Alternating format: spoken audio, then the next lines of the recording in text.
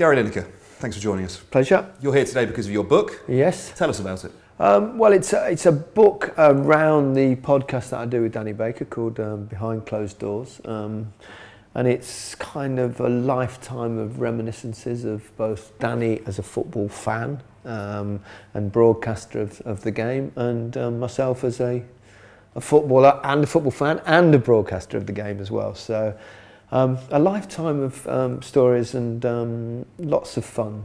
Some great anecdotes that we'll get to. Uh, indeed, of course. We should deal with it straight off. You work with Danny Baker. Now, obviously, he was cut from Five Live recently because when the Duke and Duchess of Sussex had their son, Archie, who's mixed race, he tweeted a photo of a chimpanzee holding hands with a couple. So he was cut from the BBC, but you're still working with him. Why is that? Um, well, I, if you know Danny, I know Danny very well. Obviously, Dan, and Danny um, used to have a radio show. Well, he had lots of radio shows. He used to have a radio show where um, the whole thing was basically chimpanzees dressed up in in various forms of clothing. Um, Danny had no idea who, which member of the royal family was having a baby. Um, if you know Danny, you would possibly believe that because he doesn't have, even have a mobile phone, so he goes around the only time he gets tweets and stuff, he's off his computer at home. Um, he, you know, looked for some kind of picture on on the internet um, and found a, I don't know how, but some chimp chimpanzee in, in baby's clothing. Um, he was trying to have a dig at entitlement, basically, I think, and privilege. Um, um, and he made a mistake. He, he made a massive mistake. So he tweeted this thing. Um, within seconds, people saying, "Whoa, Danny, what are you doing? This is, you know, this is racist." He's gone. Oh my God. Um, he didn't realise the baby was mixed race. Yeah. Presumably, you wouldn't carry on working with him if you thought he was racist. If I thought he was racist in any way, shape, or form, I wouldn't be working with Danny. I, and and if you really think about it, why would he come out as a, so obviously as a racist now? He's 62 years old, and, and you know he's, he's never had any kind of history of that kind of thing before. Um, you couldn't think of a more obviously racist thing to do if you wanted to do it. So it was obviously it was a mistake. It was a very big mistake, one that he you know he paid dearly for, as you said, by losing his um, he losing his job with Five Live. And he had a really tough, dark summer, Danny, um, and he found it very hard. And um, um, but if I felt, as I said, I think it was it was a mistake. He's he's not a racist. Clearly, the tweet had racist connotations. Um, we all know that, but it was it was not deliberate in any way, shape, or form. He cocked up, as we all do in life occasionally. Um, and yeah, and here we are. We we we carried on. So, do you think there's consolation then, or he's found therapy perhaps in your podcast and and the process with you? Um, I don't know. I don't know. That's a that's a question. One for him, of, of course. sure. Um, but you know, he's you know, he's, he's re-emerged, he's, he's back to his old self now. And, Good to hear. Uh, and, you know, we know what it's like as well in social media nowadays when there's a kind of big pile on. Absolutely. So, and that's very topical because we were just talking about Laura Kuenssberg, for example, yes. one of your BBC colleagues. Mm-hmm. She's been the victim of an online pile-on in the last few hours. Perhaps you could uh, explain what's happened to Laura. Um, well, I, I mean, obviously she um, tweeted something yesterday. The guy that confronted Boris Johnson in the hospital um, when Boris said, you know, there's no press and the press were there right side, so, which was obviously the main story. And then I think the story got deflected a little bit and um, Laura tweeted something about being a social activist or socialist activist or something, which was... Uh, and then people piled on her because people started piling on him and then she got the blame and it, it, it's we live in a kind of blame society and this it's so very tribal at the moment. So people on the right are saying one thing and people on the left are having to go about and another thing. So, you know, I felt for a bit this morning because, you know, you get these things occasionally. Um, you know, how many times in life have we written something down that kind of taken in a different context, etc. So, you know, I, I, it's just kind of a precarious world and the, the world of social media. You've got to be so careful and so mm. thoughtful, and that in itself is is a lesson for all of us, I think. Yeah, absolutely. And I think a lot of the time the criticism that she gets often isn't fair and perhaps one wonders why that might be the case. And well, I think we know why that's the case because because we live in very kind of divided times. Um, I mean, Laura obviously does a lot around the Brexit issue and the fact she'll get complaints from both sides of the argument. Means suggests, she's doing her job right. Suggests she's doing her job right, and I think she's, you know, she's a brilliant journalist, and and, and it's it's a really tough time because all the people on the Brexit side, all they want to hear about the positives about Brexit and the negatives about Remainers, and all the Remainers want to hear is that the, the negatives about Brexit and the positive about Remaining, and they're looking for it. So as soon as there's some, you know, that BBC might post something positive about Brexit, all the Remainers jump on them. As soon as the BBC um, you know, publicises something that's positive about Remainers, all the Brexiteers get on. So it's like that, that's kind of the world you live in when you work for the for the BBC because of that you know that neutrality that they're supposed to keep. So you know. If you're in the news world in the BBC, that they have my sympathy. I mean, we get it to a lesser degrees in football because football's very tribal as well, but not quite to that kind of extent. So, so then let's talk about football. In the book, you talk about your move to Barcelona, and initially you talk about living out of a hotel room, tripping out, tripping over suitcases. Tell us a little bit about that move. Um, well, you know, you you you play in your career and you finish you play in a World Cup in Mexico. You come back, you're suddenly signing for Barcelona, one of the biggest clubs in the world. And I was newly married at the time. And I went out, we travelled out with Michelle. We took basically our life's belongings with us, about 14 suitcases. Um, they told us we were going to stay in the Hotel Presidente. We thought, well, this is going to be really nice. You know, we probably the penthouse, the whole top floor. It's Barcelona after all. We get there and it's, it's kind of a room that's not much bigger than this little square that we're sat in here. and with a, you know, with a double bed and nowhere to put our, our bags, so we had to keep them all around. We were scrambling over them to get to to do stuff. Um, and it wasn't quite like the life I imagined in a big club like Barcelona. And then we had to ask for another room, which I had to pay for, um, to put all the luggage in, which was next to it. And then the room past that was Mark Hughes' room. And he'd just arrived, and we went in to see Mark, and we were going, What's it? And he's going, well, what's this all about? so, yeah, but um, yeah, so we were in there for four months, and then eventually we got to, to rent a place. But um, yeah, you see, that's you know star stuff. I, I, don't think the same would happen nowadays, would it, with like Messi Perhaps or Suarez? Not. Perhaps not. I saw a little bit of your uh, Spanish on Match of the Day recently, and obviously you enjoyed the language, you enjoyed the place. How beneficial for you as a player and as a person was making that move to Europe? I, I think it, it, was great for me on, on both fronts. Um, I relished it. I enjoyed it, embraced it. Um, I went to school three times a week for two years um, to learn the language. I thought it was a unique opportunity to do so. Um, and I think if you're happy, if you can, you know, communicate and have a good dialogue with your teammates in their language, then it, it's going to help you because you know it it makes you it kind of gives them a good feeling about you and, and vice versa. So it was. Um, it was something that I felt was important because before I went, I'd looked at the players that had been successful abroad and the ones that perhaps hadn't done very well and not lasted very long. And generally speaking, the ones that had been successful, the ones that had embraced the culture and learnt the language, and the ones that had just gone there for a few quid, um, because you have to remember in my time, a lot of players played abroad. And one of the reasons was that the money was so much bigger abroad than it. I know it seems strange now because Premier League's obviously has so much money, but that's how it was. So some of them just went, like, I'll do a year or two and get a few quid and then get back home. Um, and they were ones that didn't didn't fare well. So um, I took the opposite approach, and it um, I, I thoroughly enjoyed my time there. You said last year that blocking Brexit is more important than football. Do you think that fans have considered or even perhaps realised the impact that this could have on the English game?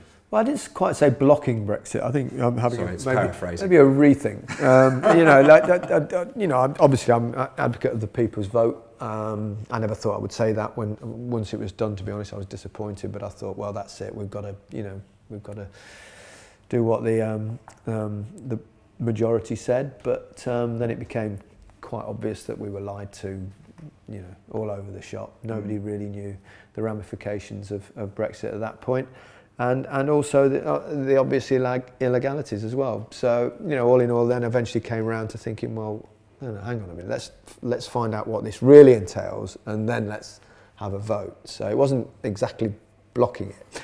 Um, what it will mean for football, it, it'll be interesting. I think um, you know, obviously, freedom of movement will affect it. Um, uh, it's hard to know at the moment because we've still not left. Yeah. Whether we ever do, who knows?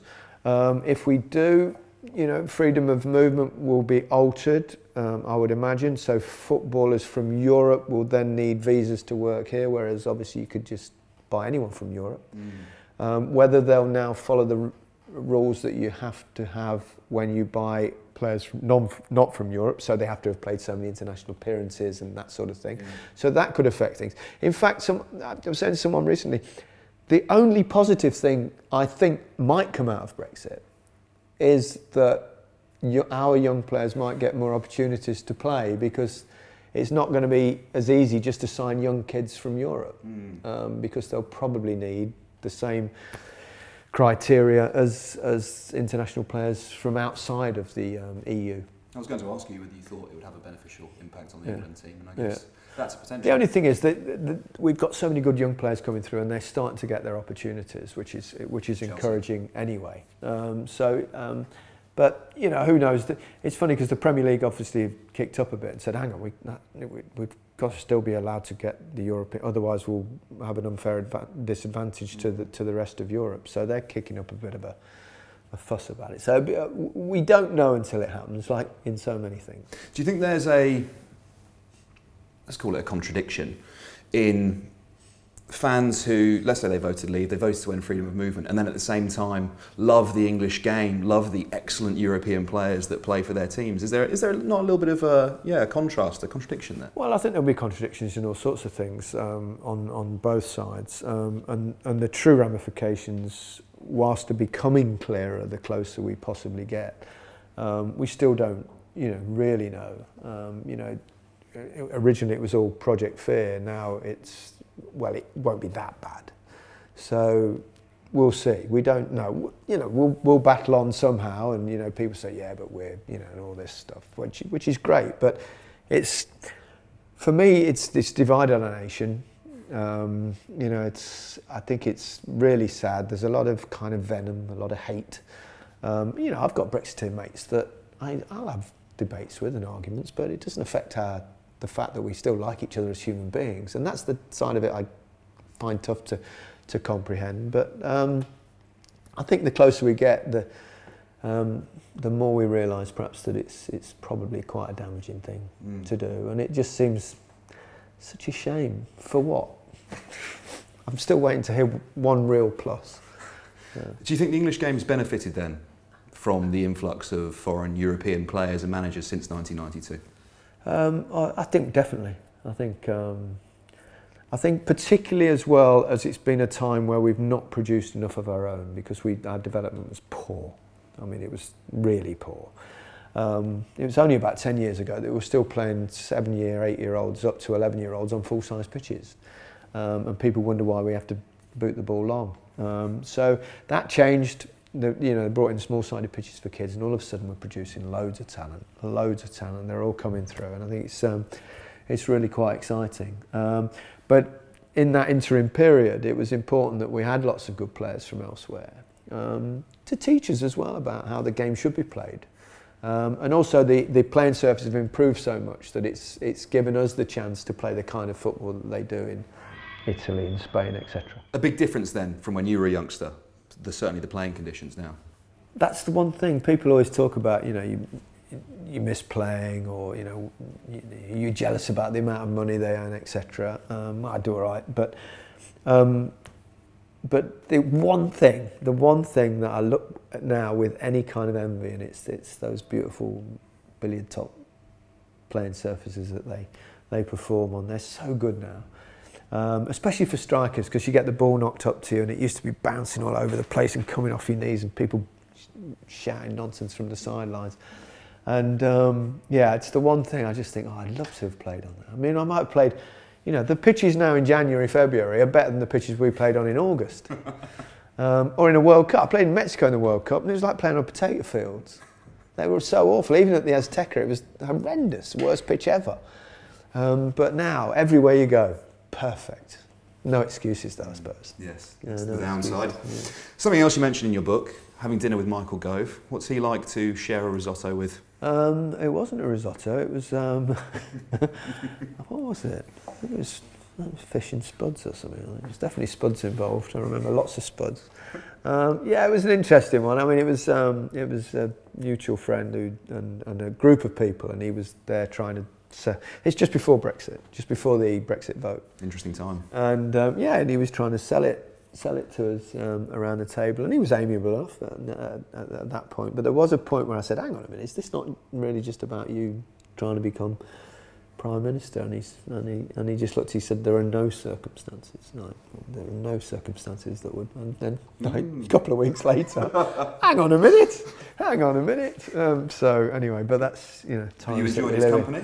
Yeah, yeah, it was, you know, it was obviously he's a he's a he's a smart, intelligent bloke, but um, I disagree with his stance on on Brexit. But yeah, Would you prefer him to Boris? I don't know.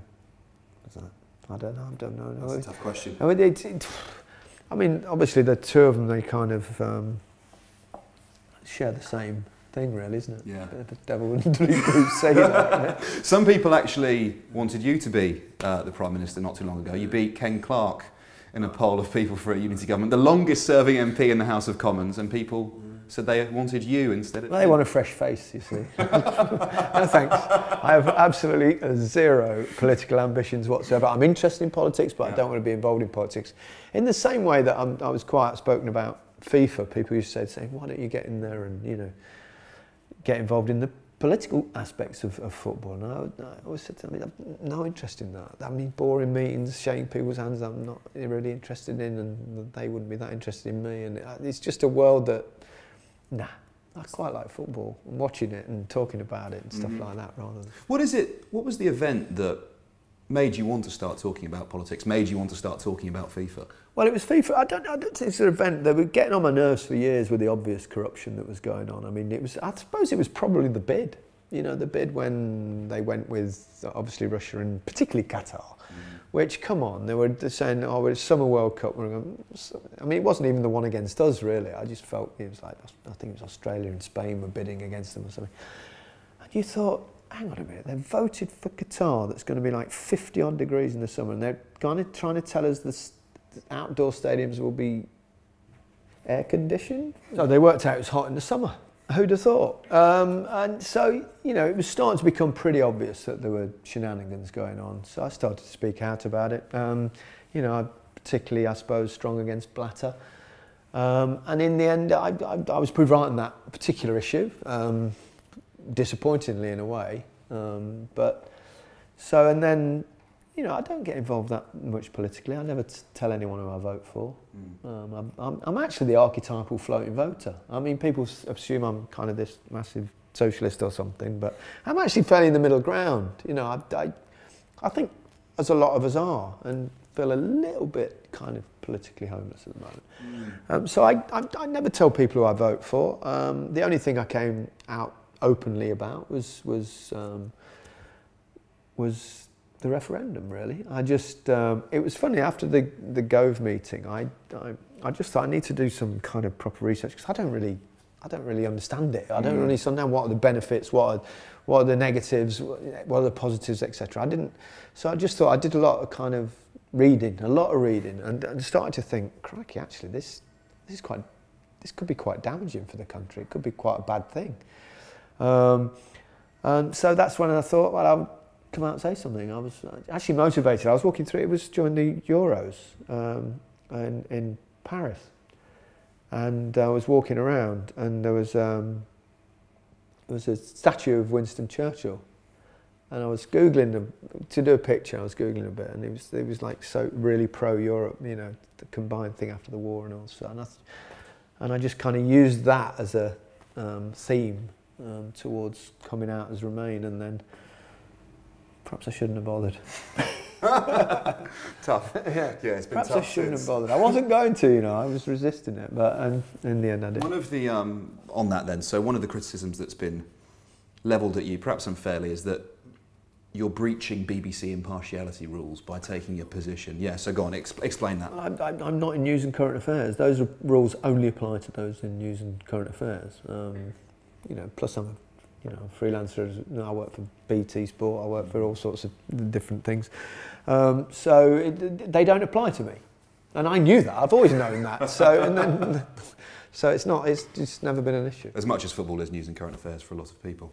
Um, so well, it's it's a different kind. It's not news and current affairs. Absolutely. It's sport. thank you for clarifying. Um, were your parents political? Um, my dad was actually a Thatcherite. Which would surprise some. Uh, he was a small businessman, you know, in, in Leicester at that time. Um, mm. Yeah. Um, I deliberately never asked who he voted for in the referendum. Because I suspect I know the answer. Yes, okay. but I'll never know. You write very movingly in your book about your father. Yeah. Could you tell us a little bit about that? Um, yeah, I, I'm, I'm, i was always obviously massively close to my dad. He's hugely supportive of my career. He did so much for me, but he wasn't, you know, he wasn't that open about his emotions. Like many of that generation, they, they largely kept stuff to themselves. Um, you know, and the last, you know, he died a couple of years ago now, and and and during the last I don't know year or two, I was up and down to Leicester all the time. I saw a lot of him. I probably saw more of him. We had more intimate chats than we'd ever had in a lifetime because I don't know, just spent more time on our own together than we'd ever done before. So, you know, there are a couple of things. The one he he, he told me out of the blue that he'd always thought I'd make it, um, and and he'd never said anything like that. And I because I was always I had a load of self doubt growing up. I always used to think I'd get found out at some point. I don't know that's genuinely the case. And I said, was you know, did it surprise you? And he went, no, I always knew. And I said, well, he could have told me. He could have told me at some point. He said, well, I just, you know. I mean, he was the only bloke probably in the country that backed me to be top scorer in 1986. 14 to 1. He had a few quid on, so he was happy. Uh, and, and the other thing was that, you know, a couple of weeks before um, he, he passed away. He was he was getting really ill, and it was obvious he was going. And he was he was ready to go. He said, "I'm you know I'm, I'm okay." I said, "I've had enough. I'm you know I, my time's up. I've had a great life." Um, and, and at the end of that conversation, he just, as I was about to walk out, he just said, "I, I love you." And he'd, he'd never he'd never told me that before, and I, it was I. I was like, "Crikey!" And I was, "I love you too." And it was it was kind of an, a weird moment. I know it sounds odd, but my mum always shared emotions and told me that, but I'd never heard it from my dad before, and I, you know, and it was um, it was something. I was just glad he lived to see Leicester win the league. Honestly, I know that sounds mad, but you know, he's a massive Leicester fan all his life. We used to have, you know, always chatting, and that that season of phone call after every time they won, it was like, yeah, and yeah. So I'm glad he, I'm glad he hung around for that. Gary, a beautiful place to leave it. Thank oh, you. Thank you. Cheers, mate.